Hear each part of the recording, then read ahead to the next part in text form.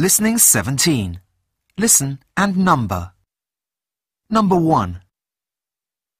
Last month, there was a festival in the park.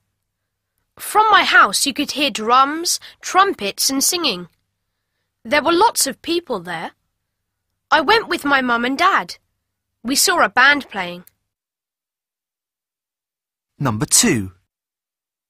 It's the weekend, and these children are going to the park with their parents. They usually go by car. They love listening to music and singing during the journey. Number 3. Sandy has her piano lessons every Tuesday after school. She practices for about 30 minutes every day. She usually practices after she has her dinner, but she doesn't practice on Saturdays. Number 4. These three cousins can all play the recorder. They all have lessons at school. They play very well.